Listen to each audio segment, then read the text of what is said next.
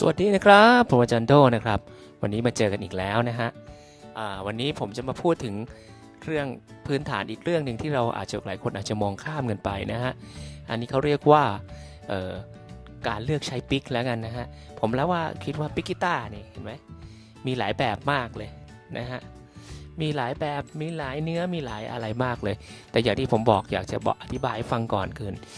การเลือกใช้ปิกนี่ให้ถูกต้องกับ การเล่นของเรามันจะช่วยได้นะครับ ช่วยได้เอ่อ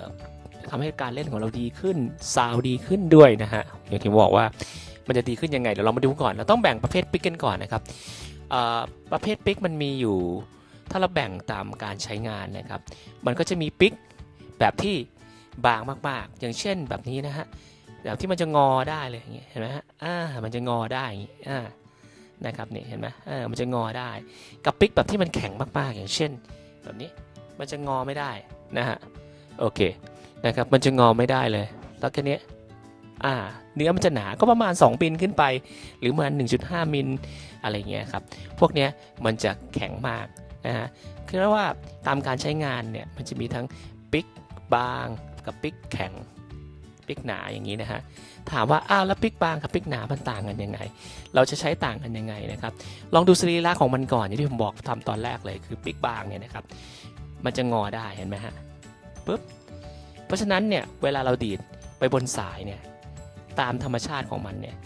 มันจะงอก่อน แล้วค่อยสะบัดออกไปอ่ามันมันจะงอก่อนแล้วค่อยสะบัดออกไปอย่างเงี้ยดูดีเนี่ยฮะอ่าเห็นไหมครับแต่ถ้าปิกแข็ง นี่ดูดีๆปิกแข็งเนี้ยนะฮะมันจะมันจะแข็งมันจะขยับไม่ได้เลยนะฮะเพราะฉะนั้นมันจะดีดออกไปโดยทันที เพราะฉะนั้นเนี่ยเอ่อปิกบางเนี่ยซีราเวลาเมื่อราดีดโดนสายมันจะสะบัดไปสะบัดมาอย่างนี้นะครับผมมันก็จะสมมุติถ้าเกิดเราดีดโน้ตเร็วๆเนี่ยนะครับ มันจะเล่นยากอย่างเช่นอย่างเงี้ยมันจะมีการงอตัวของสายก่อน อ้ยงอตัวของปิกก่อนนะครับแต่ถ้าเป็นปิกแข็ง ถ้าเราดีดเร็วๆเนี่ยครับมันจะไม่มีการงอตัว เพราะฉะนั้นถ้ามันไม่มีการงอตัวเนี่ยมันก็จะดีดไปเลยมันจะเร็วขึ้นนะครับนะฮะแต่ถ้าปิกอ่อนมันจะมันจะยากกว่าต้องลองดูเองนะครับเนี่ยครับเพราะฉะนั้นเนี่ยอะถ้าเราพูดตามการเอ่อความ หนาหนาบางของปิกตามการใช้งานก็จะสรุปคร่าวๆว่าปิกหนาเนี่ยนะครับมันเหมาะกับการเล่นโซโล่หรือการเล่นโน้ตที่มันเร็วๆมากๆนะครับมันจะช่วยทำให้เราดีดได้คล่องขึ้น บางคนเนี่ยเอ๊ะทำไมบางดีดได้ไม่เร็วสักทีบางทีการเลือก pick เนี่ยเป็นส่วนสำคัญนะครับ เพราะ pick ที่ที่อ่อนเนี่ยมันจะมีการงอตัวและสะบัดสะบัดไปสะบัดมาอย่างนี้ มันจะใช้เวลาเยอะกว่าการใช้ pick แบบแข็ง ซึ่งมันจะไม่มีการงอตัวนึกออกไหมฮะ ซึ่งแรกๆ คนส่วนมากที่เคยเล่นกีตาร์โปร่งมาก่อนมักจะชอบ pick อ่อนเพราะ pick อ่อนเนี่ยมันจะให้เสียงที่ถูกเอ่อนุ่มนวลกว่า เดี๋ยวผมจะลองดีดคอร์ดให้ดูนะครับ ทั้งสองแบบทั้ง pick หนาและ pick บาง ลองฟังดู อาจจะได้ยินไม่ชัดหรอก แต่ว่าผมว่าคุณลองด้วยตัวเองคุณจะได้ยินความรู้สึกที่มันต่างกันได้ เอาลองปิกบางก่อนเนอะปิกบางนะ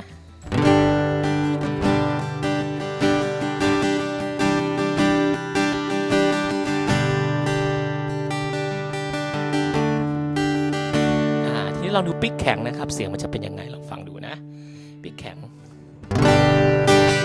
ผมใช้น้ำหนักเท่ากันนะ แต่ว่า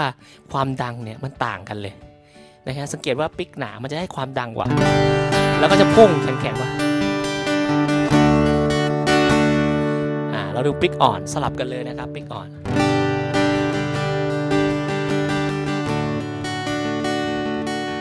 อ่าปิกแข็งนะครับผม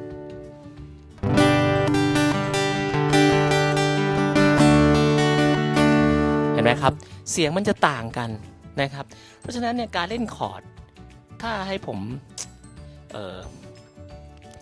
อาจจะเลือกเป็นปิกอ่อนนะครับในการเล่นกับกีตาร์โปร่งหรืออะไรที่มันต้องการเสียงที่มันเอ่อไม่พุ่งไม่ต้องดังจนเกินไปให้ฟังดูนุ่มนวลปิกอ่อน มันจะให้ความรู้สึกทางนี้เพราะหลายคนถึงชอบในการใช้ปิกปิกอ่อน เพราะมันจะไม่ค่อยต้านมือด้วยนะครับนะฮะแต่ถ้าปิกแข็งเนี่ยถ้าเกิดเราจะการต้องการเล่นโน้ตเร็วๆอย่างเช่น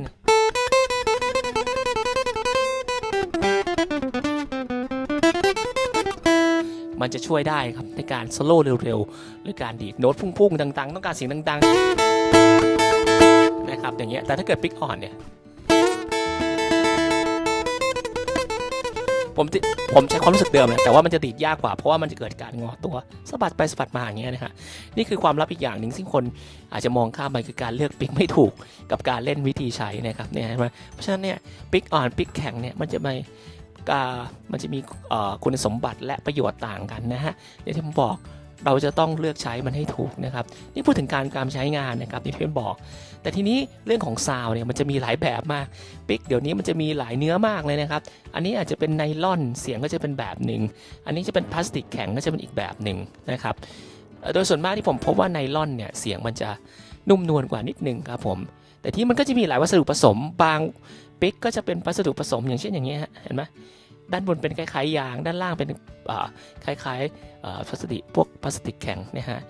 ทำไมเขาต้องจับทำให้มันเป็นลักษณะอย่างนี้ เพราะว่าบางทีเนื้อของพลาสติกแข็งเนี่ยบางทีมันลื่นเขาก็เลยจับ ทำให้หัวเป็นพลาสติกแข็งแต่ซาวมันดี แล้วด้านบนเป็นยางเพื่อให้มันหนืดจับแน่นขึ้นอะไรอย่างเงี้ยครับ เพราะฉะนั้นในปิกเนี่ยมันจะมีคุณสมบัติแตกต่างกันเยอะมากนะฮะในการเลือกซื้อสาวก็จะต่างกัน เพราะฉะนั้นปิกมันมีหลายเบื้อพลาสติกแข็งพลาสติกอ่อนบางถึงมีถึงกันนะงาช้างกระดูกวัวเอ่อ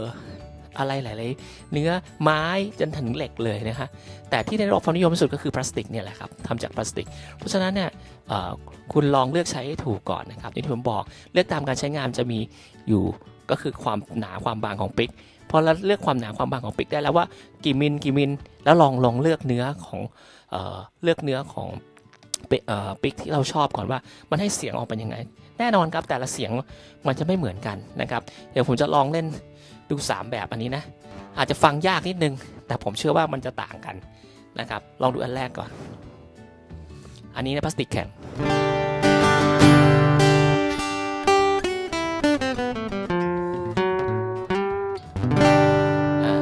แล้วดูอันนี้ครับ แบบลักษณะผสมนะครับ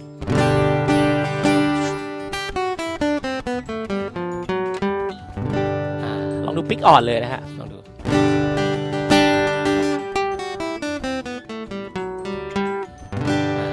สียงมันลักษณะความรู้สึกเนี่ยมันจะเป็นเรื่องของความรู้สึกด้วยซึ่งมันไม่ผ่านไม่สามารถถ่ายทอดผ่านทิปได้ ความรู้สึกในการดีดสัมผัสที่เราดีดเนี่ยมันจะความรู้สึกมันจะต่างกัน เพราะฉะนั้นเนี่ยแต่ละอันมันมีเหตุผลของมันในการเลือกใช้นะครับ ลองหาปิกที่เป็นเนื้อคู่ของคุณให้เจอนะครับว่าและให้เหมาะกับสไตล์การเล่นของคุณด้วยว่า คุณชอบเล่นแนวไหนเล่นคอร์ดเยอะเล่นโซโล่ปั่นๆเยอะๆอะไรอย่างเงี้ยครับเพราะฉะนั้นมันจะช่วยได้หลายแบบในการเลือกซื้อ pick ของคุณนะครับหา pick ให้เจอนะครับ ว่าเราจะชอบเนื้อไหนแบบไหน บางคนชอบหนามากๆ รู้สึกว่าหนาแต่บางคนหนามากๆ รู้สึกมันว่ามันมันหนาไป เอาบางลงมาหน่อยสิ อะไรอย่างเงี้ยครับ แต่บางคนชอบบางมาก ๆ ก็ได้แล้วแต่นะครับนะครับ แต่ว่ามันต้องดูสรีระที่ผมบอกในตอนต้นด้วยนะครับ ลองดูแต่ละแบบมันให้ความรู้สึกต่างกันออกไปนะครับหวังว่าคลิปนี้คงพอจะเป็นประโยชน์ในการช่วยพัฒนาการเล่นกีตาร์ของคุณให้ดีขึ้นนะครับ ฝากฟับสกายด้วยนะครับ ขอบคุณครับ